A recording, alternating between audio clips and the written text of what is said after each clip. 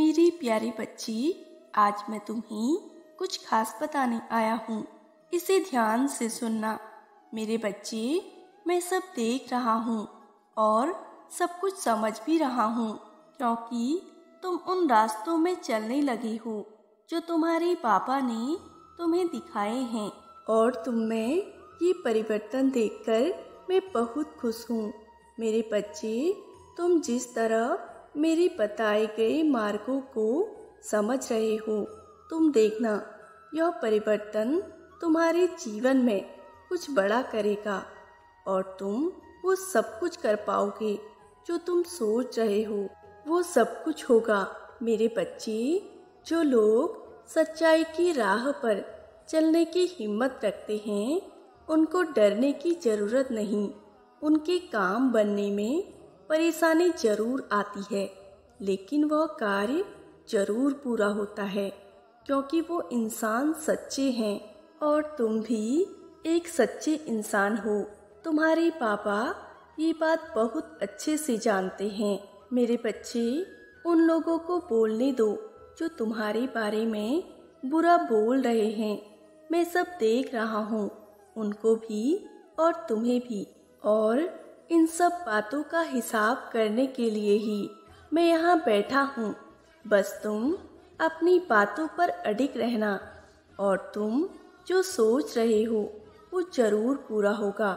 मेरे बच्चे, मैं हूँ ना तुम्हारा गुरु और गुरु हर हाल में अपने बच्चे का मार्गदर्शन करता है। फिर चाहे कुछ भी हो जाए, मैं तुम्हारा हाथ कभी नहीं छोड़ूँगा। और मैं हर हाल में, हर परिस्थिति में अपनी ज़िम्मेदारी निभाऊँगा और तुम्हें भी अपनी ज़िम्मेदारी निभानी पड़ेगी। मेरे बच्चे अपनी राह से और अपने सोचे हुए काम से कभी डगमगाना नहीं। बस करती जाना। कोई भी परिस्थिति तुम्हें रोक न पाए। इतने मज़बूत बनो, क्योंकि तुम्हारी हर राह पर तुम्हारे साईं तुम्हारे साथ खड़े हैं। मेरे बच्चे, जब ईश्वर कोई रास्ता बंद करते हैं ना तो हमेशा कोई दूसरा रास्ता ज़रूर खोलते हैं। इसलिए उदास नहीं होना।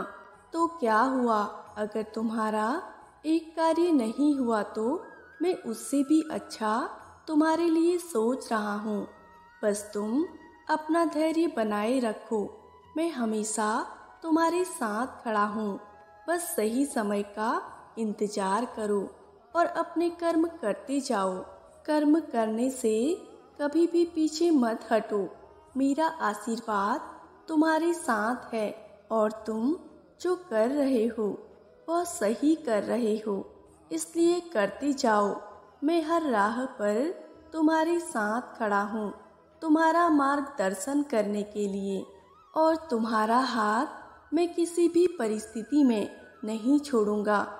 मेरे बच्चे, अब तुम देखना तुम्हारे जीवन में कितना बड़ा परिवर्तन होने जा रहा है और तुम कितना नाम कमाओगे।